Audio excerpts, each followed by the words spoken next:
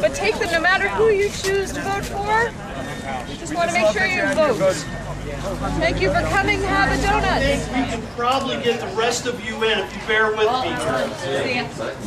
Isn't that special? gentleman gets to be the last, the last person to vote. Line going right on into the library, straight back. Uh, I s- filled out one of the provincial uh, other ballots. Oh, okay. Yeah, So that you had a handwritten. I saw you setting up the thing. yeah. That was cool. Did they tell you what happens to that or what? Uh, they said I can check on it, call in, see if it got counted or not. Oh, okay.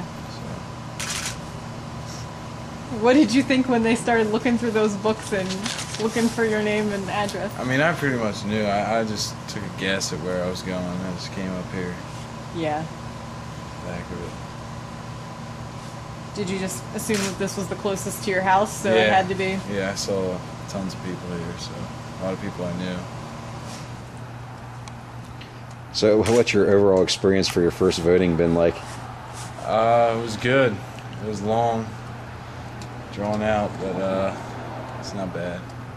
Was it worth waiting in line? Yeah, I think I'll keep voting. Feel good now. Got my sticker.